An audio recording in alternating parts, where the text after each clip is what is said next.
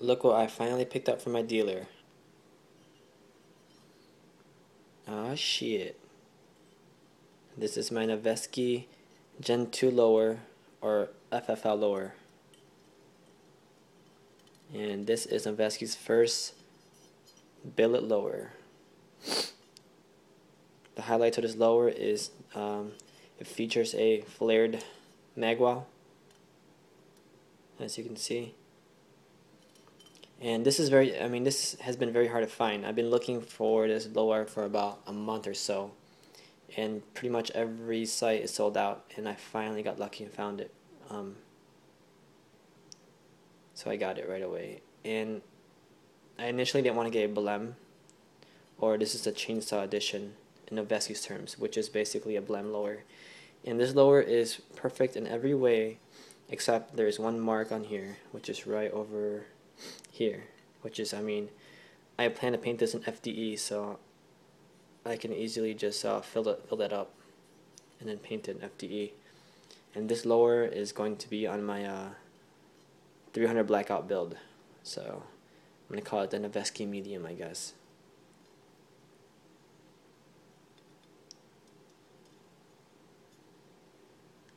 I'll be using uh, Brownell, Brownell's uh, Aluma-Hyde 2 in Coyote, which is the closest match to uh, Magpul's FDE color. I got some components so far, which is the MIAD grip, which I have in all my rifles, which is my favorite grip. And I'm I got the new Magpul STR stock to go with this build, just because I like the CTR stock, and this is just an upgraded version of the CTR. Comes with a storage compartments and a higher cheek weld, so that's why I got it. The lower parts kit I will be getting is a Daniel Defense lower parts kit, but I just found out they stopped producing the lower parts kit, so it's gonna be hard to find some. If I can't find that, I'll probably go with a Spikes Tactical kit. For the safety, I'm going to go with the Battle Arms uh, ambi safety, with, just like all my rifles. Upper receiver for this build, I'm looking at the Vltor MUR upper, which is very nice. Had my eye on that for a while. Uh, I'll probably paint that in FDE as well. For the barrel, I'll be looking at the Noveske 16 inch barrel.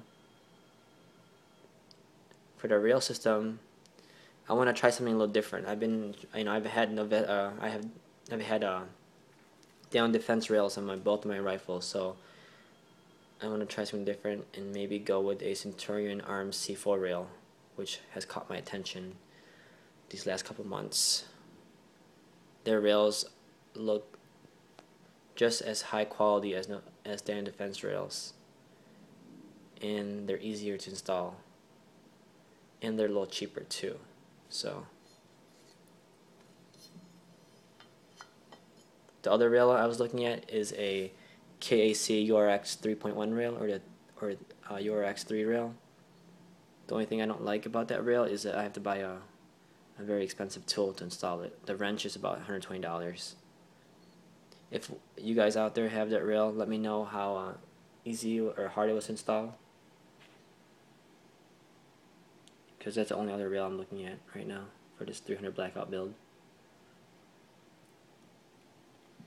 For the charging handle, I'll be running a uh, BCM Gunfighter charging handle, or I might actually try uh, Rainier Arms uh, uh, Raptor charging handle, but they're sold out right now too. So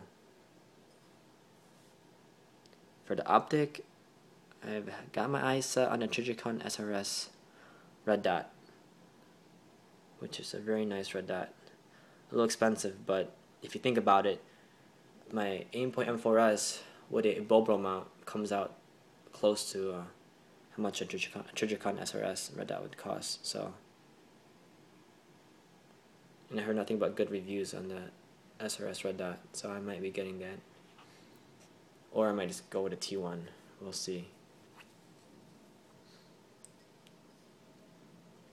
And for a light, Maybe I'm looking for a Surefire Scout on it. I think that's pretty much it. So stay tuned to my uh, project. I'll keep you guys posted and upload more videos. If you guys have any questions or comments or suggestions, feel free to uh, give me or feel free to comment and let me know.